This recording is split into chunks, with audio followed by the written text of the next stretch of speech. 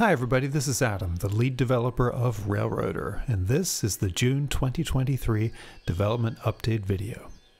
If you're not familiar with Railroader, here's what you need to know. It's a railroad simulator set in transition era Appalachia.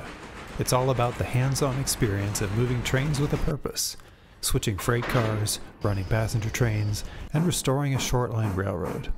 It's single player and multiplayer, and I plan to release it later this year. You can wishlist it on Steam right now.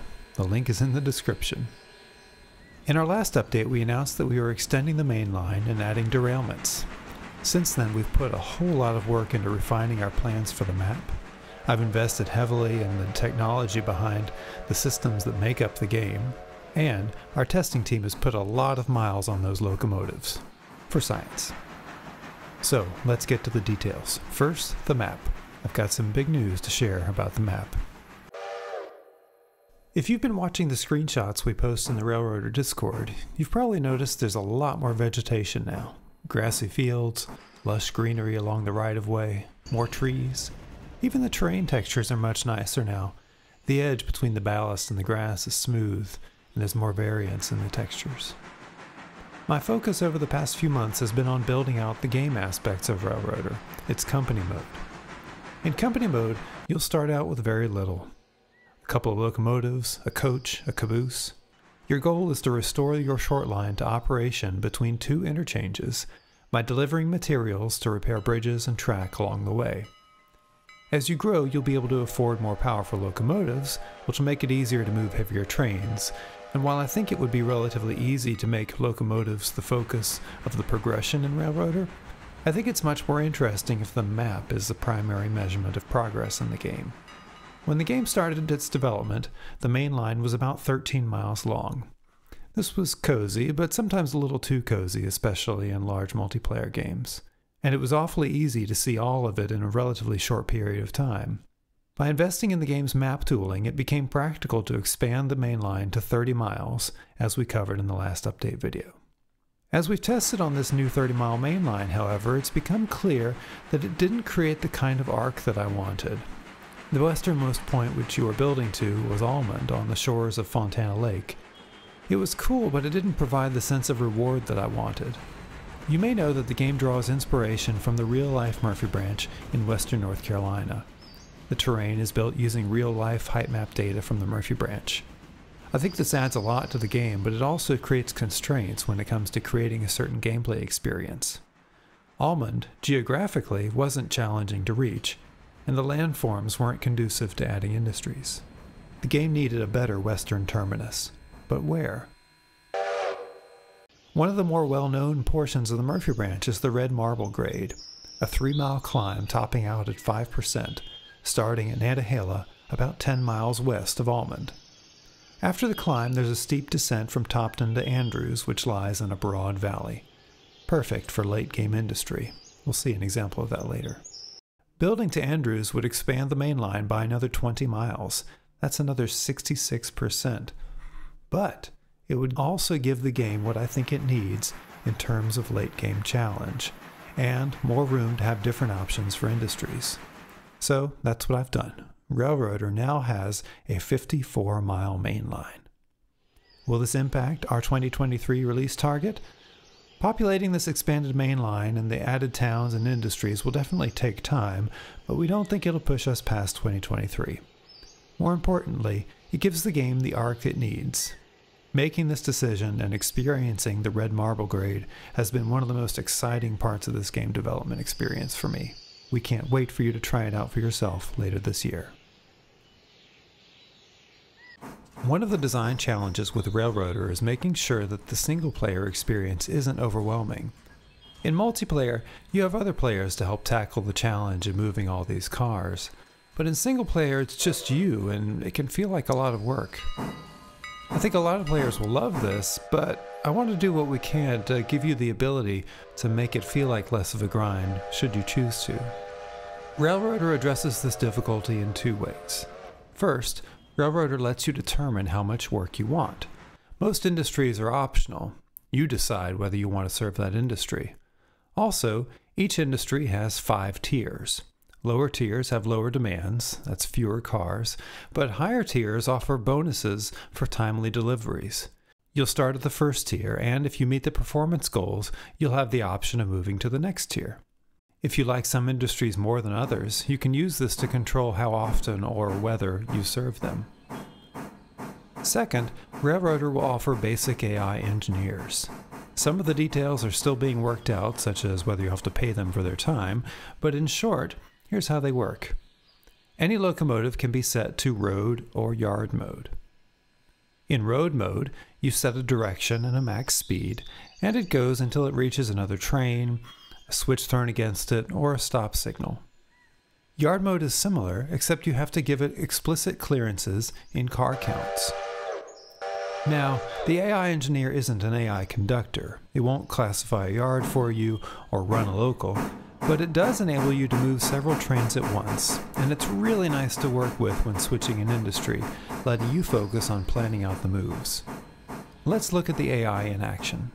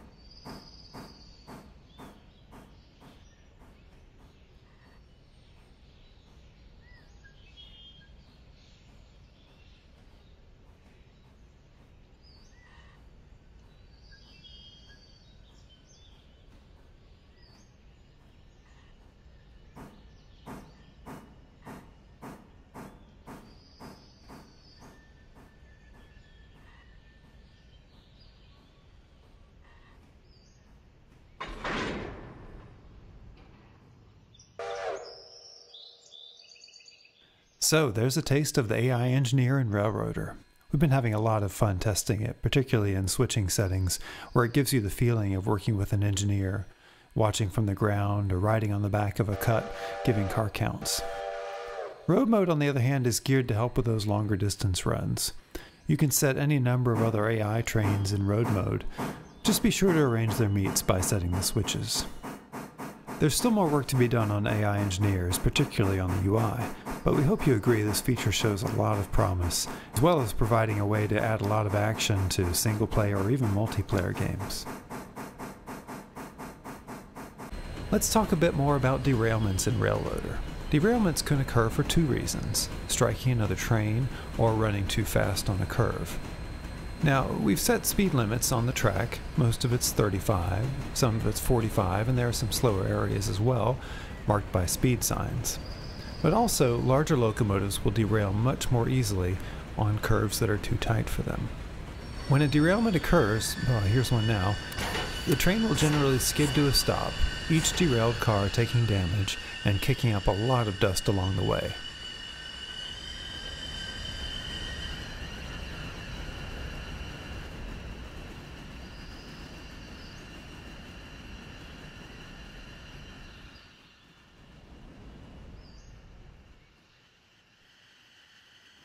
Like I mentioned, the derailed cars have taken some damage. Right now, they're re-railed gradually using a keyboard shortcut, a simple simulation of using a block and tackle to get the car back on the rails. I have some ideas on ways we might adjust this in the future, but for now that's to be determined. Because trains move on splines in Railroader, the derailed cars never fully leave the track. That's okay though, because this does exactly what it needs to do.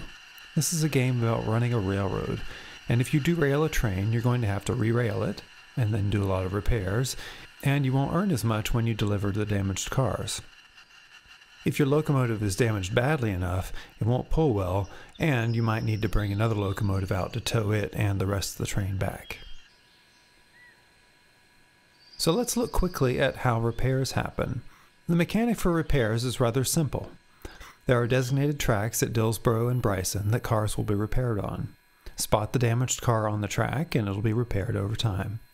Only a set amount of repair can be done at any given time, so if you have many cars on the tracks, the repairs will take longer. Industries are a big part of Railroader. They're your customers, they're how you get work. We talked about tiers earlier, but I'd like to show you a couple representative industries. Before we do though, I want to make sure you're aware that the industrial buildings we have on the railroad right now are mostly mock-ups and placeholders. In fact, we haven't even placed buildings for most of our industries. This is the last big chunk of modeling work, and we're in the process of tackling this right now. Okay, let's talk industries.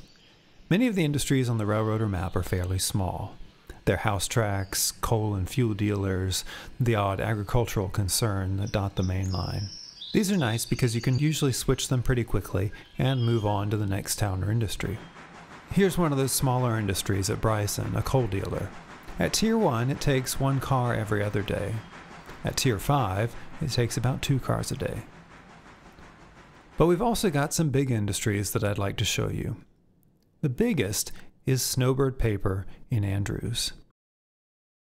It takes six different types of load and produces four types paper, tall oil, caustic soda, and a whole lot of pulp.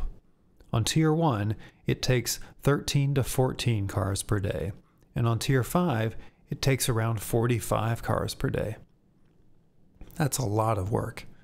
Now, again, these are placeholder buildings. In fact, this is just one building copied many times to suggest the size of the complex. I think it gets the job done, though.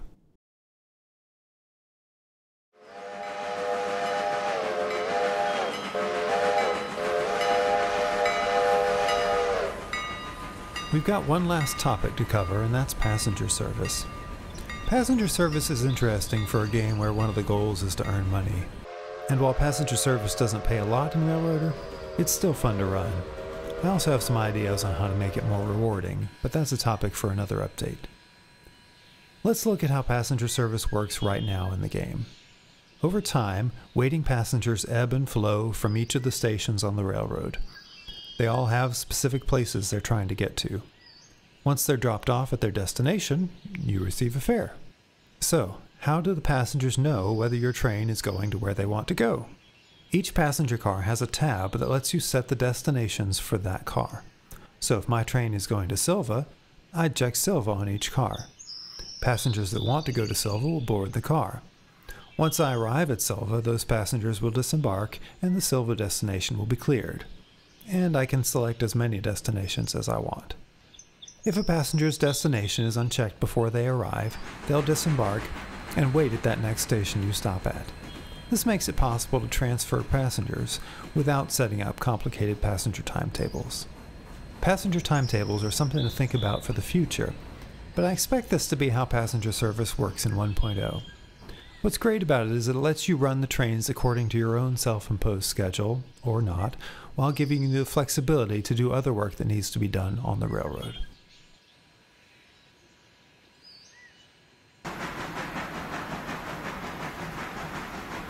Well, that about wraps it up for the June 2023 update video.